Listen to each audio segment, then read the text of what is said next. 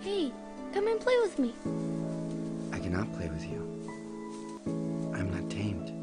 What does that mean? Tame means to establish ties. To me, you're still nothing more than a little boy who's just like a hundred thousand other little boys. And I have no need of you.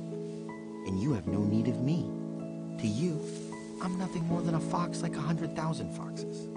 But if you tame me, then we shall need each other.